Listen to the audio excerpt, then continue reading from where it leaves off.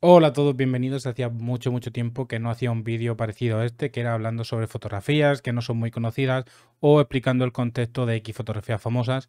Y bueno, os traigo 17 fotografías que van relacionadas con el día de, de días previos o días posteriores a la invasión y que bueno, que espero que, que os gusten. Si hay alguna que ya conocíais, pues simplemente ponerlo en comentarios, ¿vale? Y compartamos entre todos un poquito de conocimiento. Os dejo con ellas.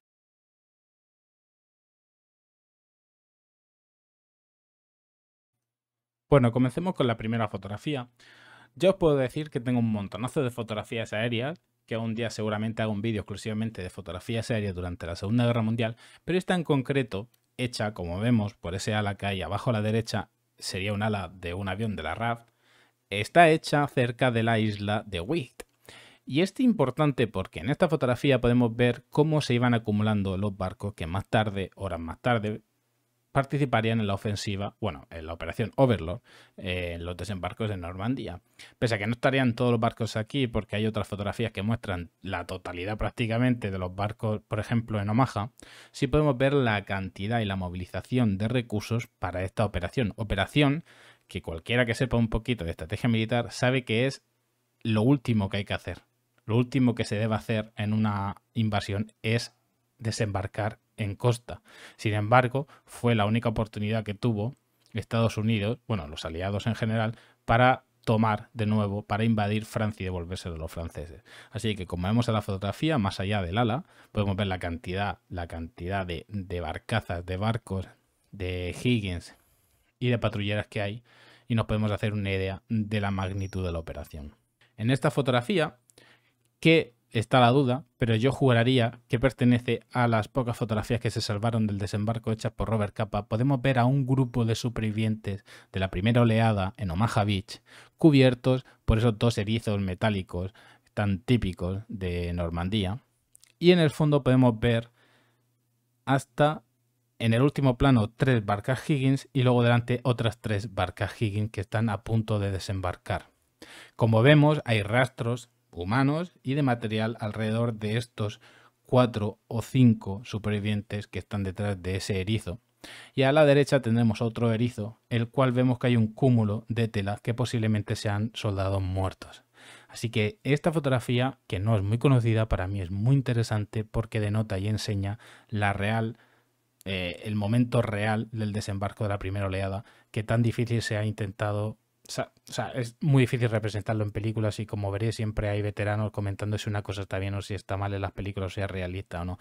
Así que imaginaros el ambiente. Y si no lo imagináis, también os voy a dejar arriba un vídeo que trata sobre el sonido real, eh, subtitulado lo mejor que pude, del desembarco. Eh, grabación hecha desde un barco, desde un crucero militar y que me parece bastante interesante. En esta otra fotografía, que vosotros diréis, pero bueno, esta fotografía no es desconocida, es casi prácticamente la más icónica del desembarco en Normandía. Pero no se trata de la fotografía en sí, que técnicamente no está muy para allá, pero sin embargo es increíblemente impactante. Muestra los momentos, eh, la salinidad, eh, el, el sabor metálico, el miedo que hay en los metros antes de desembarcar en Omaha, en la invasión. Pero esta fotografía tiene bastante interés, no por ser solo la fotografía en sí, sino porque realmente esta fotografía, que atribuida muchas veces a fotógrafos de guerra, es de un tripulante del Higgins. O sea, sé, el que el apoya al conductor, el ametrallador, no lo sé exactamente, porque no sé exactamente qué barca es. Creo que es un LCVP, o un LCM, no lo sé, creo que es un LCVP, pero bueno, esta fotografía podría considerarse que es una fotografía amateur y sin embargo fijaros la fuerza que tiene ese hombre al fondo a la izquierda subido en la rampa para ver el destino de la barca, cómo se oscurece y da paso casi a los cascos a los cuales le podemos poner ya nombre y denota el miedo la fotografía. A mí me parece una fotografía súper fuerte y muy curiosa de que sea una fotografía prácticamente amateur. Como he dicho las fotografías aéreas, esta me ha parecido muy interesante para poner, simplemente porque pertenece al escenario de la batalla del asalto de Juno, al oeste de Courcelles-sur-Mer. Está hecha durante el día D, pertenecería a la playa de Mike, Y es bastante curioso ver el cúmulo de barcazas arriba. Y vosotros diréis, ¿y, qué sentido que esté tan apelotonado? Pues ahora después veremos la razón. Vosotros quedaros con esta imagen. Un apelotamiento de barcazas en el norte de la foto, ¿vale? Arriba. Y cómo las tropas se van acumulando, como veis en, en el, en el espigón, y van bajando hacia abajo en la foto. Ahora después entenderéis por qué. Pero imaginaos la situación. Ahora, es interesante porque es una de las pocas fotografías aéreas que hay del área del asalto de Juno, ¿vale? Esta otra fotografía, que cada vez va siendo menos desconocida porque se ha utilizado en bastantes ámbitos nacionalistas británicos, eh, pertenece al Día del Desembarco, eh, un sector, eh, no quiero que nadie me acuchille, pero comparado con otros sectores, bastante tranquilo, de las tropas británicas porque tuvieron muchísimo apoyo de la RAF y entonces pues le fue más fácil desembarcar. Bueno, pues el desembarco llega hasta esta loma, esta pequeña loma de la playa y que finalmente se paran esperando órdenes. No es un sitio tranquilo, como vemos hay tropas armadas eh, en blindados y mucho movimiento de tropa de infantería. Y esto es porque estaban esperando a que el oficial diera la orden para hacer una carga hacia el lado alemán y poder conquistar rápidamente más terreno. Parece una fotografía muy tranquila, pero realmente lo que tenéis que ver es que hay un cúmulo de cientos, quizás miles de soldados esperando al sonido de un pito para correr hacia el enemigo a lo más puro tierra de nadie de la Primera Guerra Mundial. Así que a mí me parece que pese a la tranquilidad del oficial ahí de pie, es una foto muy fuerte y que denota que pronto, no sé cuántos en esta fotografía morirían a manos de una ametralladora alemana. En esta fotografía tiene mucha relación con la que os he dicho de Juno. Y es porque, como veis, parecería una fotografía básicamente hecha eh, hoy día, porque está muy bien, porque tiene un desenfoque de lente muy bueno, porque se ve un poquito de cada, de cada personaje de la fotografía, pero centra mucho la atención abajo a la derecha en el hombre que está mirando a cámara prácticamente y en el que está arriba a la izquierda y parte la verticalidad con el medio, con este soldado que lleva una carabina M1 en la espalda. Y es porque esta fotografía pertenece a un desembarco de una barca Higgins donde están bastante cubiertos. Y él, no sé el rango que tendrá el soldado, por lo que veo tiene pinta de ser seguramente un sargento o un capitán, habla por walkie-talkie para informarle a los oficiales cuál es el punto exacto donde es mejor desembarcar para estar cubierto de las armas alemanas. Y es por ello la acumulación de barcas en la fotografía aérea de Juno por la que vemos que hay muchísima gente en un lado y no en el resto. Y es porque él, o sea, un, oficial, igual que él, informó del sitio que era mejor para desembarcar porque estaba más cubierto. Así que bueno, vemos eh, la razón de la fotografía de Juno en esta fotografía tan buena. Esta fotografía, que por así decirlo era, es prácticamente incluso eh, de humor, vemos cantidades ingentes de bicicletas siendo descargadas, pero realmente no es tan gracioso. Y es porque la segunda flotilla australiana utilizaba bicicletas como modo de transporte, cosa que aunque parezca de humor, fue esencial en el desembarco de Normandía. Y es porque esto les permitía a la tropa ir más rápido de un punto a otro sin ser apenas detectados ni por sonido ni por visibilidad y les permitían moverse por la zona llana de playa y poder colocarse en sitios distintos más rápido que a pie. Así que me parece una foto que seguramente no conocierais, pero que es una foto bastante icónica de lo que era el espíritu australiano en la Segunda Guerra Mundial y su aportación a los aliados. y no todo es desembarcar y llegar a la arena. En muchos casos pasaba como esto. Como veis en la fotografía podemos ver una barca de, supervivientes llegando a una playa. Bueno, pues sería una playa de Omaha y este grupo de cuatro personas que están fuera de la barca son soldados de infantería que están ayudando a soldados marinos a llegar a la playa. Y vosotros ¿y qué interés tenían estos soldados? Ninguno. Lo más normal eh, que ocurriese era que chocasen patrulleras y demás chocaran contra minas acuáticas y entonces pues acabarán naufragando y cogieran barcas y llegasen a la playa y las tropas de infantería les ayudaran a llegar a la orilla. O sea, sí que pasarían de Guatemala a Guatapeor. Y cruzando al otro lado del Atlántico, encontramos esta fotografía donde vemos que una tienda de botones y de hebillas de cinturón para su actividad durante ese día porque van a rezar porque salga bien la invasión de Estados bueno, de los aliados, perdón, a Francia. Es bastante bastante graciosa porque la mayoría de iglesias de, de, Estados Unidos abrieron sus puertas para que todo el mundo fuera a rezar en apoyo de la invasión de los aliados en Francia. Como vemos, pusieron incluso un cartel avisando de que ese día no se iba a trabajar porque se iba a rezar. Esta fotografía, que no es para nada conocida, de hecho es muy difícil encontrarla en buena calidad, muestra la última misa. Y es una foto que a mí me parece que tiene mucha fuerza porque muestra un momento cotidiano de un soldado, que es rezando y preparándose y siendo bendecido para una operación muy importante, donde sabían los soldados que iban a tener bajas cuantiosas. Como he dicho, un desembarco es prácticamente la última carta que tiene un ejército a la hora de conquistar una zona, porque es muy peligroso, porque es eh, una acción que sí o sí conlleva muchísimas bajas. Así que bueno, esta foto es bastante, bastante fuerte porque vemos una multitud de soldados en la zona izquierda que incluso llenan una loma que hay y al cura bendiciendo al lado de una ambulancia antes de partir hacia la operación Overlord. Esta fotografía eh, cada vez es más normal encontrarla y cada vez es más calidad, pero a mí la considero que todavía no es conocida del todo y me parece que es preciosa, ¿vale? Pese a la situación, por varias cosas. Lo primero es que la composición es brutal. Vemos que en el central hay un serio eh, teniente, parece que es un teniente porque ahí veo que parte el símbolo blanco, pero parece que la radecilla. Voy a considerarlo un teniente que eh, habla con seguramente sea otro oficial y un oficial alemán. Este oficial alemán le está diciendo dónde están las posiciones alemanas o dónde está el resto de unidades.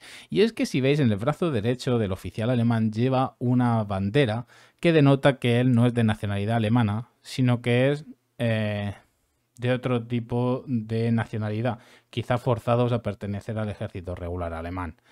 Eh, también me gusta esta fotografía porque muestra el respeto entre cargos, entre oficiales, sean del ejército que sean, que como ya he comentado muchas veces era algo que durante la Segunda Guerra Mundial se mantenía a rajatabla. Un oficial no puede ser ninguneado por una tropa de otro ejército por ser eh, capturado o cualquier cosa. Debían de mantenerse los rangos y el respeto al rango, porque erais eh, soldados y es lo más importante pese a las circunstancias. Esta fotografía me gusta muchísimo porque parece una fotografía de un barco llegando a la, a, la orilla en el desembarco, pero realmente analicémosla. Vemos en el fondo un montonazo de, humo e incluso una explosión y dos barcas de, desembarco bastante gordas. Pero vemos que cerca de la, de la lente hay dos soldados americanos con sus salvavidas eh, mirando hacia, hacia esa orilla. Pero realmente esta fotografía, lo gracioso de todo, es que pertenece a un tanque flotante. ¿Vale? Como vemos, ellos están abajo a la izquierda. Os he puesto un ejemplo de uno de los barcos tanques flotantes. Que bueno, se, se hizo como una especie de invento para que flotaran y fueran semianfibios para llegar a la orilla y apoyar la primera y segunda oleada del ataque en Omaha. La cosa es que se desplegaron entre 28 y 29, pero solo llegaron eh, a tierra 8. No sé si recordáis una cena Salva Soldado Ryan donde hay un ingeniero, un zapador, que le dice al capitán Miller que debe irse de allí porque tiene órdenes de volar a ese obstáculo para los tanques. Y entonces le responde eh, el capitán Miller, le dice, todos los tanques se han ido a pique al fondo del canal. Pues se refiere a estos, a estos, a estos tanques. Pues fijaos lo gracioso que fue el invento, pero realmente pues no funcionó como ellos esperaban. Esta fotografía muestra una cara distinta del desembarco. Primero, me parece muy interesante porque técnicamente es muy buena. En el centro de la fotografía encontramos una explosión prácticamente unos segundos después de la explosión como tal. Vemos que hay un montonazo de cuerpos y varios supervivientes llegando al espigón que vemos a la derecha, donde están protegidos los soldados que se ven a la derecha. Pero también vemos como desde el punto donde están cubiertos hasta la orilla, que estaría a la izquierda, hay una inmensidad, una cantidad muy grande de playa que tenían que atravesar. Imaginaos atravesar eso con todo el equipo mojados y además recibiendo un disparo cada segundo, cada milésima de segundo desde, la mesa, desde las ametralladoras alemanes o rifles alemanes. Así que me parece una fotografía que es bastante, bastante extraña encontrarla por allí, por fotografías, mm, reportajes o vídeos. Y que bueno, espero que os guste, a mí me parece que es preciosa. Esta fotografía eh, trata un tema que realmente es bastante difícil de encontrar y es eh, las evacuaciones durante, durante el desembarco en Omaha. Tanto en Omaha como en otros sectores no se contempló la necesidad de traer heridos. Digamos que se daba por hecho de que iban a poder llegar y poner un puesto de control o un puente, eh, una fortaleza al llegar a tierra. Pero esto no fue así, no se esperaban eh, parte de la respuesta que encontraron y eso que Alemania no estaba preparada para, para el ataque de Estados Unidos. Valga la redundancia de todo esto, podemos ver en la imagen como una de las propias Higgins traía heridos, que de hecho, en la historia de Robert Capa, él escapa de la playa montándose en una Higgins que vuelve a recoger más tropa. Entonces, digamos que las evacuaciones fueron un poquito improvisadas y aquí vemos como aparte de los soldados heridos, eh, se montan en la Higgins y vuelven al barco. Eh, vemos que no hay muertos y es porque los muertos evidentemente se quedaban en la playa.